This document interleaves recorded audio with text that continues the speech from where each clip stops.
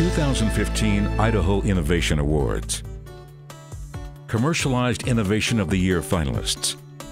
AutoSense by PakSense.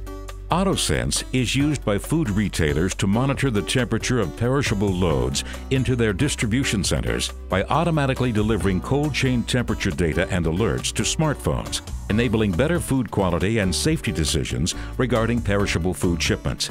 PakSense wireless labels are placed on perishable loads at the supplier's location and product is loaded on a truck. The labels are auto-detected by the AutoSense reader installed at the distribution center, and cold chain data is automatically forwarded to predefined users via email or text. Launched in 2014, AutoSense is currently installed in over 50 retailer distribution centers in the U.S. and Canada. Burns 1401 Less Lethal Ammunition by Integrity Ballistics LLC.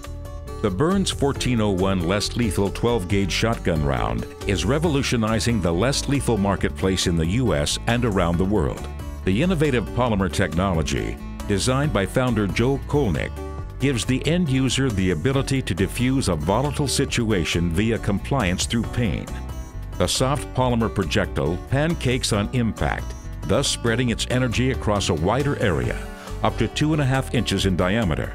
Integrity Ballistics LLC's Burns 1401 and corrections rounds have captured fugitives wanted by the FBI, diffused and halted fights between inmates or detainees, and are used in specialized tactical training scenarios. Preview Wireless Worksite Radar by Preco Electronics. Blind spot accidents can have devastating effects on a company and the community it serves.